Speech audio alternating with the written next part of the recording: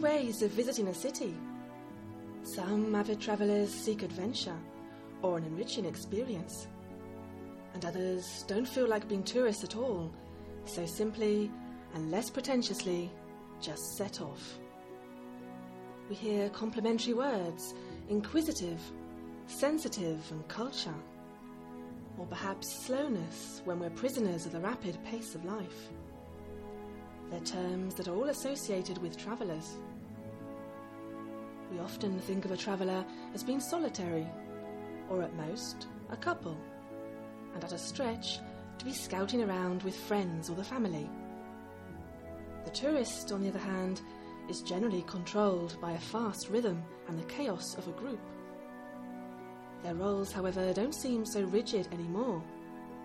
And as our cultural curiosity increases, together with our interest for the slow life philosophy and well being, we are all brought closer together.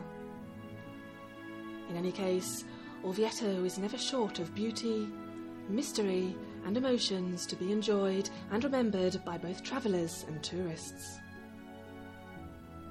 Orvieto, the headquarters of the International Association Città Slow, has its own relaxed rhythm of life. The clue is slowness, and to get into its true spirit, we must approach it without haste. Approaching the steep hilltop town, for example, we see the heart of the city crowns the ancient mass of Tufa rock. The heart meaning the centre, but also its shape on the map. The shape of a heart with its towers, its walls, and its curved lines is drawn. If we aren't in a hurry, the best way to be overwhelmed is to not take the motorway, but to come along the hairpin bends of the Cassia, through the vineyards and olive groves, and the soft, rolling hills upon which the rock lies, offering a breathtaking landscape from a distance. The nude, warm Tufa rock, with the Duomo, the clock tower, St. John's Convent, the ridge of the ancient walls, and the church of San Giovenale on the steepest point of the rock. And once in the city, without hurrying, not only can we soak up the splendour of the main sights during our stay, but we also have the rare gift of a calm and fulfilling visit. A journey that can be transformed into a way of life. A magnificent cathedral, a palimpsest for three centuries, that through the laced stone on the facade tells the stories of the Old and New Testament. And the wonderful traces of art and history the eras have left us from the chapel of Luca Signorelli to the modern doors by Emilio Greco, as we're going to discover at the Opera del Duomo Museum, along with many hidden but no less remarkable treasures. For example, the Madonna enthroned at the papal palaces, an admirable polyptych by Simone Martini, and in the church of Sant'Agostino, the striking group of sculptures, the Annunciation by Francesco Mochi sublime among the other great statues of the Mannerist period, that until 1800 decorated the inside of the Duomo. If, after visiting the archaeological museums and the Palazzo Faina, we linger a little, taking in the atmosphere of Piazza del Duomo, and maybe, if the opportunity arises, to taste a sandwich made of local delicacies, or a superb traditional ice cream, and to hear the great automaton clock chime from Maurizio's tower you'll certainly begin to enjoy the city. Not just the immediate visual pleasure, the sounds, tastes, and smells, but it will begin to touch the inner soul. It's there, available, and ready to be revealed in each interested and careful traveller. The ancient roads of Orvieto are easy to reach. Go along Via del Duomo, over the crossroads at the clock tower, where you'll find yourself moving on to the centre stage of the town one of the most evocative panoramas of the city and valley. Squares representing the religious and civic powers, from Cathedral Square to the Piazza del Popolo, the People's Square, where the city dwellers' market is held, colourful and filled with a sense of fresh produce from the surrounding countryside. And the powerful 1300s palace, which used to house the captain of the people, towering over the Piazza del Popolo Today it contains a modern conference centre.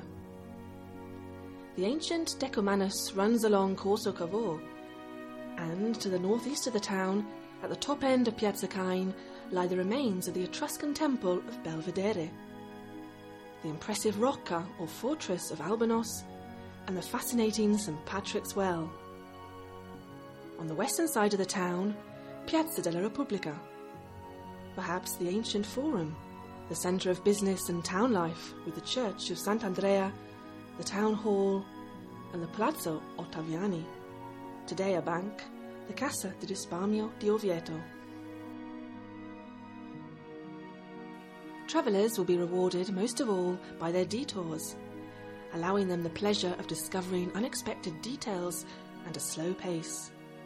Many features will be discovered knowingly, and others by chance. Artisan boutiques that know how to continue the ancient crafts in a personal and modern way.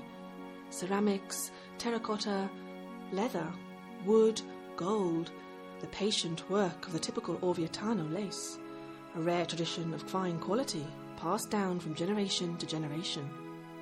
Wine shops, tasting corners, bakeries, coffee, chocolate boutiques, gastronomic delicacies, inviting you to savour the finest mouth-watering flavours. And modest, refined houses, bustling with life and charm. Gardens in flower, water and vegetables. Elegant palaces with courtyards that are not forbidden. Cloisters and wells, gables and inscriptions, cornices and rustication. Two and three light windows, Spires and lunettes everywhere are highlighting the subdued triumph of the tufa and stone from building to building, door to door, window to window. And overbearing and precious churches along the medieval lanes and small piazzas. From the ancient San Giovenale to the magnificent interior of San Lorenzo di Arari.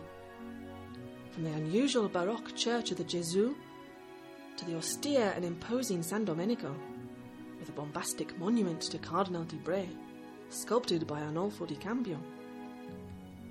From the refined, pure white entrance to the Sant'Agostino complex, now a museum, to the silence of the ex convent of San Giovanni, the Umbrian Regional Wine Enoteca, and the Palazzo del Gusto. Because it's right here where we find the magical formula of the art, culture, and well being of the city of Orvieto regenerating ancient places with satisfying current and modern pleasures.